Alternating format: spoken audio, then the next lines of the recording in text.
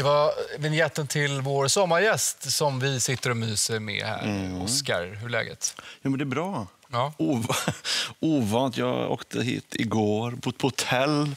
kändes nästan surrealistiskt, fast det är det man gör väldigt mycket eh, vanliga, i vanliga tider, så att säga. Men så är det ju inte nu. Men eh, ja, skönt att få jobba lite. Ja, och vi tackar dig så väldigt mycket för att du jobbar och ja. sjöng en ja, låt för oss här. Varsågoda, den var till er. Ja, mm. och några andra där ute ja, i landet. Mm. Men du, det är en stor saknad är det ju när turnéer och spelningar har ställts in. Vad är det du saknar?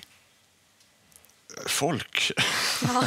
Nej, men mötet med, med, med, publiken är, det är ju något, kanske framför allt i, i, i sommar-Sverige, det är något eh, väldigt speciellt. Jag sjöng om juninatten här när man har varit ute i, på turné i, i sommar-Sverige och ser den där eh, juninatten uppenbara sig och man spelar. Det är, det är magiskt. Mm. När vädret tillåter. Nu såg vi innan här också att det vart tog sommaren vägen? Så det var en paus. Det är en paus, ja. ja. Jag såg något hoppfullt orange ja, där. Orange-grönt. Ja. Men, men du, den, hela den här våren har ju varit helt annorlunda för er, så kan jag tänka mig. vad har ni, hur har ni tacklat den? Nej, men vi har ju mer eller mindre näringsförbud, och vi, eh, men vi har ju ben att stå på, tänkte jag säga. Det är klart att det är ju, det är ju eh, ingenting är som vanligt, men, men eh, jag har skrivit en del, försöker att ta mig an den biten. Och, och vi har setts, vi har repat och, och testat nytt material.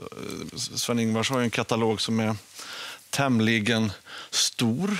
Mm. Eh, och även om många av bandet har varit med väldigt länge så kan de inte hela katalogen. Så att jag har gett dem lite så här, har ni hört den här då? Så ses vi och så får vi spela igenom det. Eh, men, eh, nej, men vi håller oss i god vigör så där, musikaliskt. Har det, har det varit tufft att hålla, hålla sig vid, vid god vigör? Alltså jag tycker att det är kanske lätt att man, man deppar ihop. Liksom, ja, men det, det kommer några gig. Ja, ja, nej, men det, alltså, vår vårturné är flyttad till i höst. Vi har ingen aning. Vi, jag menar, vi följer ju myndigheternas eh, rekommendationer. Vi kan inte göra annat. Eh, sen sommaren den försvann på lite pö om pö sådär, med ganska kort eh, framförhållning också. Eh, det är klart att då känner man ju att men vart ska det här sluta? Liksom. Mm. Men alla är påverkade. Och inte minst de som faktiskt blir sjuka. Alltså det, det, det, är ju en tid av...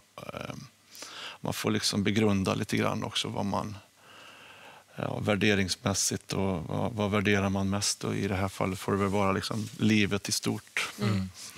Ja, men så det, är, det är en sak att inte kunna göra det man eh, vill och älskar. Sen så finns det så här, folk förlorar livet, blir väldigt sjuka, förlorar jobben mm. så att det blir en mm. stor osäkerhet mm. ekonomiskt också. Mm. Hur har du eh, tänkt och känt kring det? Nej, men det är väl klart, vi, vi, vi får ju inte jobba. Eh, och, och, det är ju ett jättetapp eh, ekonomiskt för, för hela branschen. Men det, det, det, det, det är såna tentakler ut. Jag känner väl mest eh, för, för de som, som, som står bakom oss. Alltså tekniker, ljud, ljus, turnéledare alltså som, som får hela den här cirkusen att funka. Men ända bak till produktionsbolag. Som, mm. jag menar, det är ju allt ställs ju in. Mm. Och så vet vi inte vad som, vad som kommer och när det kan tänkas komma. Det är ju, det, jag tror liksom inte kanske gemene man har insikten om hur, hur, hur, dels hur viktig branschen är för, för ja, välmåendet hos alla, kan jag tänka. Kultur och musik, det är liksom något som alla eh, har glädje av i någon form. Eh, och nu välter liksom massor med företag och produktionsbolag och enskilda artister har inte liksom möjlighet att, att fortsätta. Det artisterna ja. har, å andra sidan, vi har ju diskuterat detta. Jag satt ju här nyss, jag har mitt instrument. Mm. Jag kan sätta mig ner och jag kan spela, jag, jag håller på med det här. Eh, och, och sen om jag kan fortsatt liksom ha det som yrke, det, det, får man ju, det får framtiden utvisa. Men återigen, teknikerna är ju beroende av att jag sitter här och de kan skruva på någonting. Och, Det har varit många rubriker kring artister som har sökt det här krisstödsstipendiumet från Konstnärsnämnden eh, och fått pengar då eftersom jobben försvinner. Har du sökt ett sånt stipendium också? Nej, nej, jag har faktiskt inte gjort det. Eh, och fråga mig inte varför egentligen. För om man ser så, så, så det är ju till för men det är ju företag, företagare som är ålagda återigen ett näringsförbud. Och, och, och för att vi jobbar inom det här yrket så, så, så, så ska vi väl också kunna få, få kompensation för att vi inte får jobba. För debatten har ju dragit lite åt det hållet. Det här är artister som många har miljoner på kontot. Ja. Hur, hur ser du kring de diskussioner som har förts?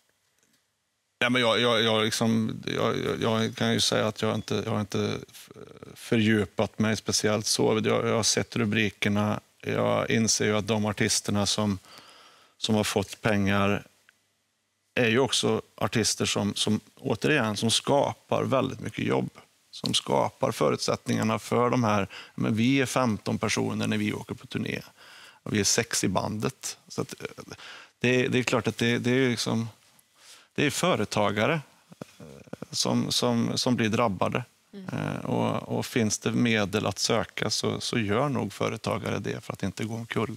Även om det finns kanske eh, pengar bakåt. Och det är sånt man har tjänat på sånt som är gjort. Det är klart att man ska kunna eh, överleva på, på, på det också. Men det är en svår fråga. eh, Men, men jag tycker inte man ska liksom...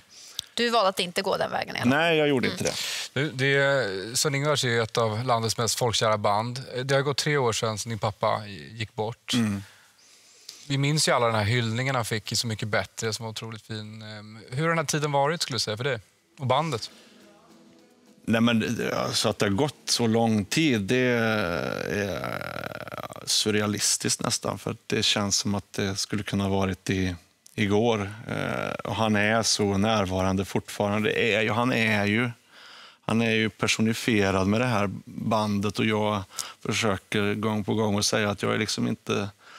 Jag står inte i mitten för att ta över någonting, liksom, utan det handlar om att föra den här fantastiska låtskatten vidare samtidigt att skapa någonting nytt med den, med liksom hjärtat i förgrunden. Eh, jag förstår vilken ång ångest man skulle ha om man sabbade någonting som ens föräldrar har byggt upp i så. Men det är liksom, jag, jag, ja, jag är väldigt rädd om det vi gör och det är hela bandet. Och vi, vi, just nu kan vi inte spela, men vi, vi ser framåt och vi kommer ju liksom göra fantastiska spelningar framåt. Nästa år fyller Sven-Ingvars 65 Det är år.